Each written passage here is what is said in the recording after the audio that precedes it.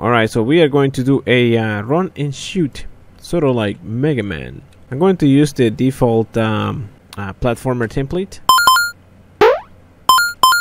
And we are simply going to modify this so we can uh, create our uh, run and shoot example. Okay, so uh, so open GDevelop and let's open the um, platformer example, and uh, we are going to modify the animations for the um, for the player. So we have animation 2, which is uh, the walking animation. Okay, so I'm going to replace this by something else. Maybe I'm going to create a um, a brand new character. Okay, let's see. Edit with uh, or Piskel. I really don't know how to pronounce that. I, maybe somebody can leave leave a comment down below. But uh, but then again, maybe I'm gonna read it wrong too. So let's add a new uh, frame, and uh, I guess we could draw something, something simple. Nothing complicated. I should I should make my uh, black and white. And uh, some some sort of little guy with a humongous head. It's gonna have a helmet.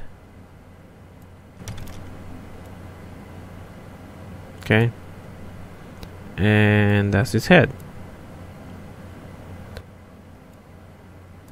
That's gonna be his um his arms. Now this is not pixel art because I'm using a really big brush. And those are his uh, his feet or legs.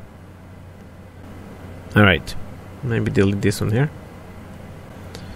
and I'm going to use uh, blue for this and blue all blue.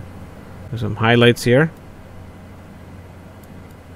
So there is our guy. Let me just copy this. Rename it to jump. And uh, we're going to edit this image.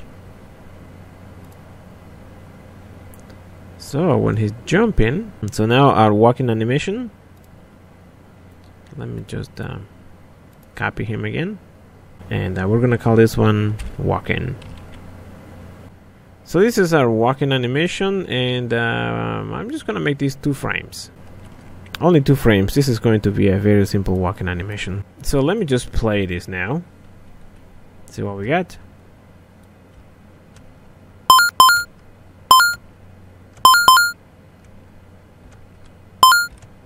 I mean, that works fine now, except for we need to be able to shoot.